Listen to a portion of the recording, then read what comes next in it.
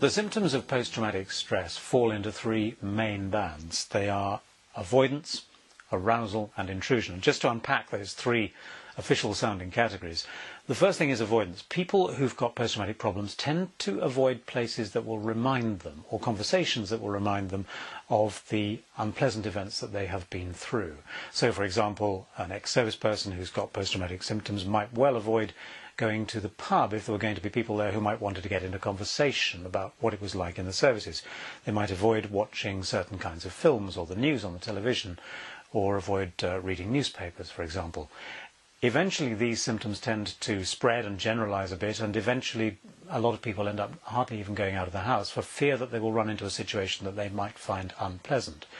So, the avoidance uh, symptoms can actually take over somebody's life and eventually make them quite agoraphobic or, uh, or even quite aggressive.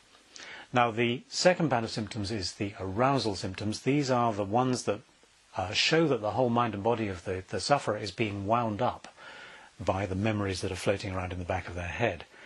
Uh, these manifest as things like uh, irritability, a hair trigger, um, sudden and potentially quite violent outbursts of anger, rapid mood swings, physical tension leading to unexplained aches and pains, and very often a disturbed sleep pattern as well.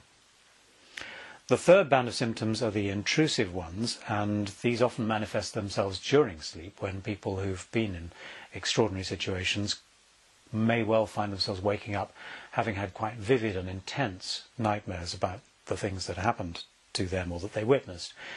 Uh, but these don't only happen at night. Very often people actually get flashbacks during the day. You can actually get intrusive memories breaking through into normal waking consciousness. So you, you actually physically see things in front of you, or feel that you've seen things in front of you that, that weren't actually there. There can also be other manifestations, memories, um, thoughts, images that you just can't control, basically. So those are the three bands of symptoms, the avoidance, the arousal and the intrusion. And put together, they, they, they, they add up to quite an unpleasant package that, that can be very seriously disturbing and upsetting, distressing for, for, for many people.